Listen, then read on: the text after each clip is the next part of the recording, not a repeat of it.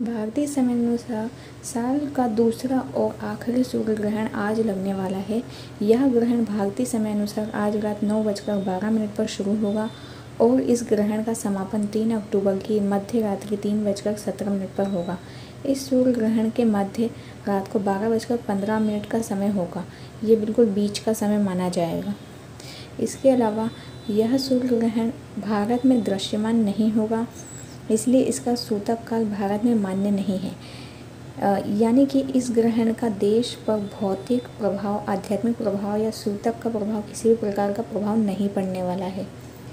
यह स्थिति दुनिया में राजनीतिक रूप से भयंकर उथल पुथल मचा सकती है। शेयर बाज़ार और दुनिया भर की आर्थिक स्थिति हिल सकती है। कन्या और मीन राशि के प्रभाव विश्व भर में युद्ध की स्थिति और प्राकृतिक आपदाओं का संकेत दे सकती है और इसमें हर तरह की प्राकृतिक आपदा शामिल है। तो इससे बचाव करना